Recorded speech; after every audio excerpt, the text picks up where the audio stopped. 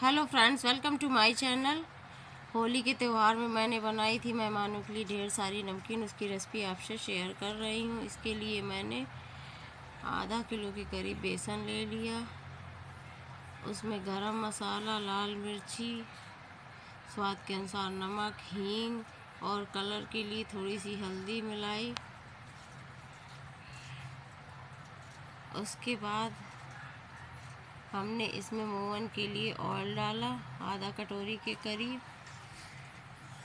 फिर हमने थोड़ा थोड़ा पानी डाल करके इसका एक सॉफ्ट सा डो तैयार कर लिया। और डो को ज़्यादा टाइट ना करिएगा, नहीं तो सेव बनाने में थोड़ी दिक्कत आएगी। अब हमारा परफेक्ट डो बनकर तैयार हो गया है। अब हम डो को 10 मिनट रेस्ट के लिए ढककर रख देंगे, जिससे बेसन अच्छे से फूल जाए। अब हम शेव बनाने वाली मशीन लेंगे। उसमें डो को भर देंगे और इसको टाइटली बंद कर देंगे। तर हम एक कढ़ाई लेंगे। उसमें सरसों का तेल डालकर कढ़ाई को प्री हीट कर लेंगे।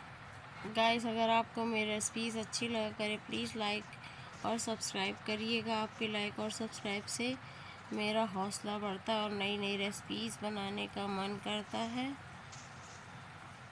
अब हम मशीन की मदद से सेव को बनाकर ऑयल में डाल देंगे। अब हम दोनों तरफ़ से पलटा कर सेव को अच्छे से गोल्डन ब्राउन होने तक सेक लेंगे।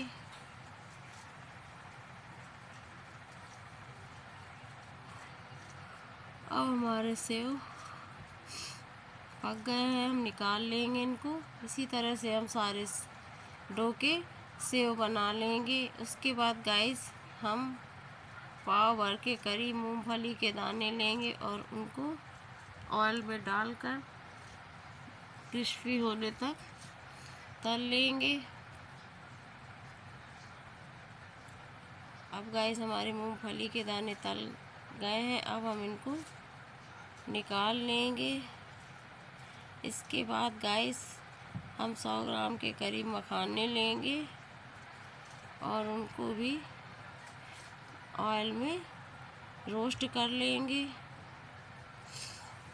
और इनको क्रिस्पी होने तक भून लेंगे। अब ये हमारे भुनकर तैयार हो गए। इनको हम एक प्लेट में निकाल लेंगे। इसके बाद गाइस हम कॉर्न फ्लेक्स लेंगे और उनको भी तल लेंगे।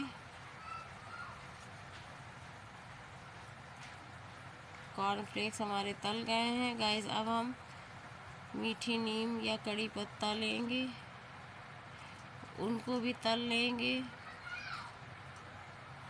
उसके बाद गाइस हम इसमें दो चम्मच के करीब सौंफ लेंगे और उसको भी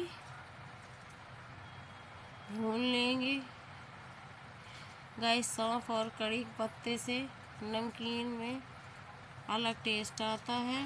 गाइस अब हम एक बड़ा बर्तन लेंगे। उसमें सबसे पहले भुने हुए मखाने डाल देंगे, फिर सेव डाल देंगे और सेव को हल्के हाथों से तोड़ देंगे। इसके बाद गैस हम इसमें भुनी हुई मूंगफली डाल देंगे। उसके बाद हम भुना हुआ चूरा डाल देंगे। उसके बाद गैस हम कड़ी पत्ता और सौंफ डाल देंगे। कड़ी पत्ता को हल्के हाथों से तोड़ देंगे। उसके बाद गाइस हम इसमें लाल मिर्ची पाउडर डाल देंगे। स्वाद के अनुसार नमक डाल देंगे। उसके बाद गाइस हम इसमें जलजीरा पाउडर डाल देंगे। अब सभी इंग्रेडिएंट को मिक्स कर देंगे। गाइस हमारी नमकीन बनकर तैयार हो गई है।